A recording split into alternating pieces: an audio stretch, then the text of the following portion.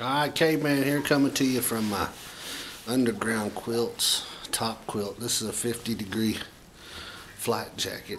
Uh, this thing is awesome. So it's going to take a few minutes to show you some of the features. Right, hold on.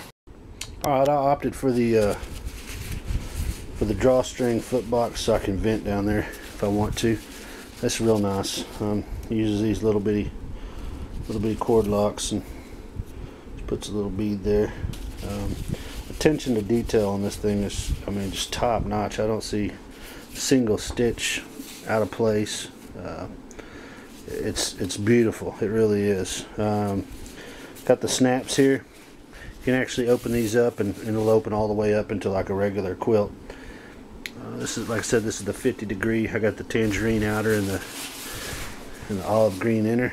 Um, on the head end, got a single snap here goes around behind you with the draw cord so you can really just pull this thing in right around you.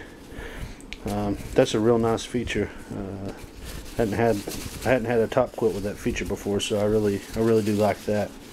Uh, as far as warmth goes uh, I've had it down to 47 and that kept me warm. It's a 50 degree bag like I say I've had it down to 47 so I'd say it's pretty pretty well close to its rating uh, it weighs 13 ounces which is just stupid light so 13 ounces underground quilts.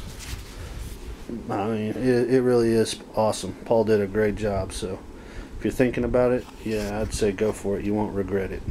Alright good times